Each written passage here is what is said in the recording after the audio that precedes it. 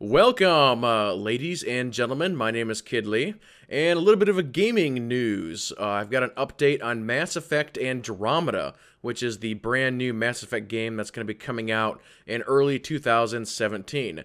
Now, if you don't know, Mass Effect is my favorite gaming franchise of all time. I absolutely love that series.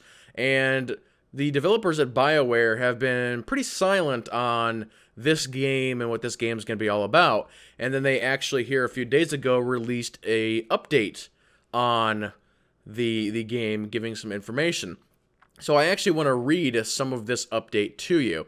And with E3 coming up here in a couple of weeks, it has been announced that Mass Effect Andromeda will be there. So during the uh, EA press event, I'm sure they're going to have a really big showing for the game, and it's going to be super, super exciting.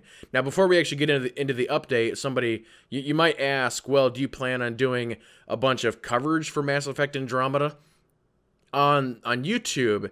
And surprisingly, I think what I'm going to do is because this is going to be such a big game, it's probably going to be a 50 plus hour game if I'm already doing a bunch of stuff for No Man's Sky, which that game is infinite, it's going to go on forever, potentially, I, I really don't want to do a bunch of No Man's Sky and a bunch of Mass Effect. So I think my very loose plans for Mass Effect Andromeda is I'm going to do it all on Twitch.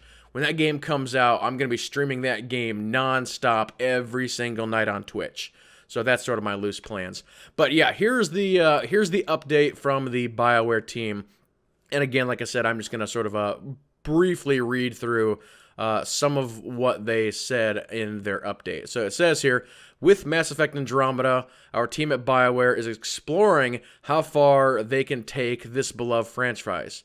Uh, what, what did I say? French fries? Franchise. Let's try that again.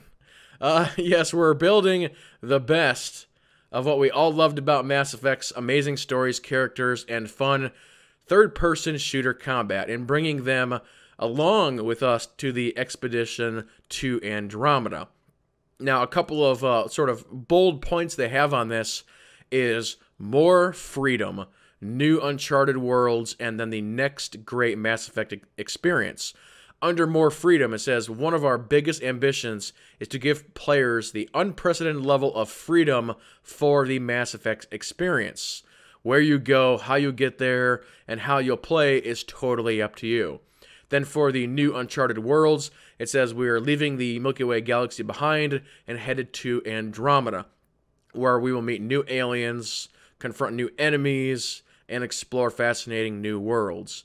And then for the great, or the next great uh, Mass Effect experience, uh, Mass Effect Andromeda will be the first Mass Effect game running uh, running for today's machines, the Xbox One and the PS4, and the first to be built on the brand new Frostbite engine.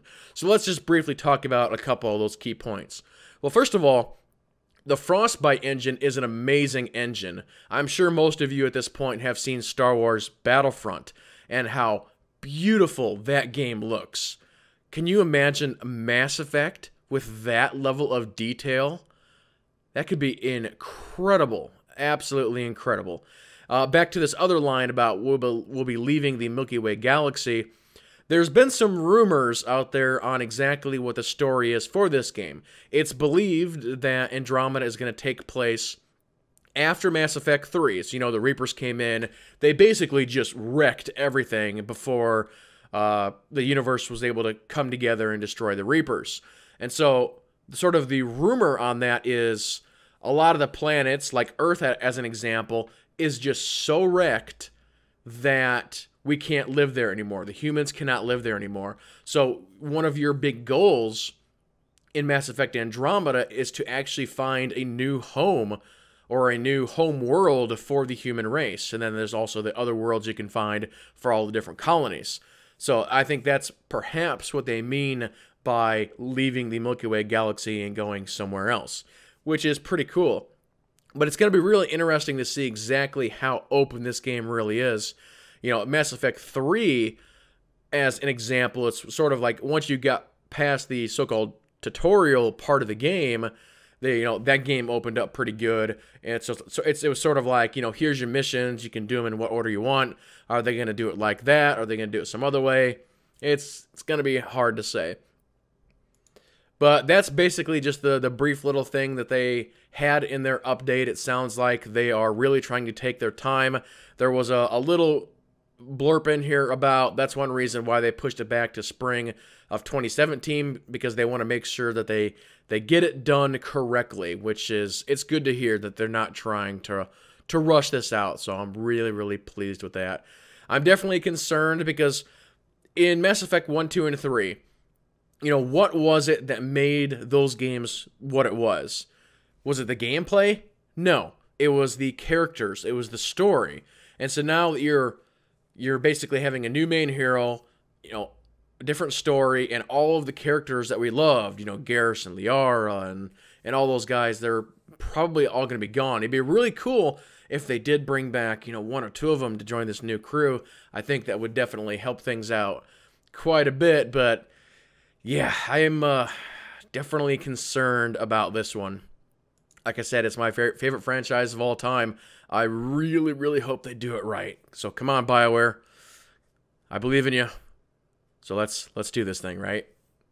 But yeah, ladies and gentlemen, that will go ahead and do it for this video. If you have any comments or questions, please leave them, leave them below.